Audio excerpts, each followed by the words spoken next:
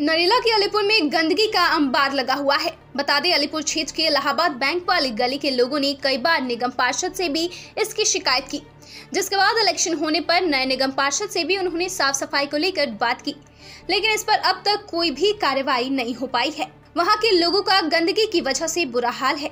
आप देख सकते हैं कि किस तरीके से सभी नाले कचरे से भरे हुए हैं, जिसकी वजह से कई तरह की बीमारियाँ भी पैदा होती हैं। साथ ही वहाँ के लोगों का कहना है कि उन्हें कूड़े की वजह से काफ़ी दिक्कतों का सामना करना पड़ता है। यहाँ कचरे से काफ़ी ज़्यादा बदबू आती है और यहाँ रह रहे बुज़ुर्ग और बच्चों में भी बीमारियों का खतरा बना रहता है। और अब कुछ समय बाद डेंगू का सीज़न भी आने वाला है, जिससे लोगों में डर का माहौल है।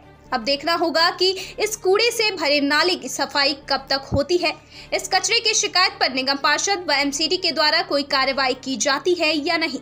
या फिर अलीपुर इलाहाबाद बैंक वाली गली के लोग ऐसे ही नरकीय जीवन जीने को मजबूर रहेंगे। ब्यूरो रिपोर्ट, दिल्ली समाचार।